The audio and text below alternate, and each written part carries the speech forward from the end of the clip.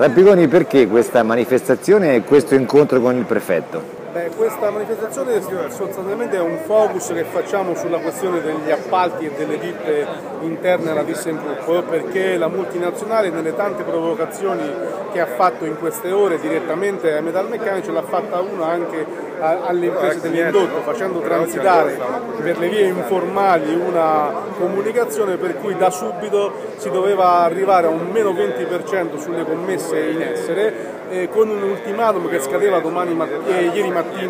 rispetto alla decisione delle, delle, delle, imprese e con la comunicazione che di fronte a una eh, negazione di questo meno 20% sarebbero uscite eh, le ditte dalla, dal sito di Viale Bin. Per noi questo è un fatto gravissimo, intanto perché era materia di contrattazione e questo è successo mentre c'era al Ministero la discussione generale sulla questione di Group, è ehm, irresponsabile perché tra le altre cose eh, aggrava eh, la questione dei livelli occupazionali ma soprattutto apre una prospettiva di illegalità all'interno del sito perché con quel tipo di eh, ribasso significa che potranno lavorare dentro il sito di Viale Brin se venisse ovviamente confermata questa, questa indiscrezione solo le aziende che non si possono permettere neanche di pagare il costo del lavoro. Per questo motivo saranno soltanto aziende eh, illegali. Noi abbiamo quindi posto un problema che riguarda oltre all'avvertenza generale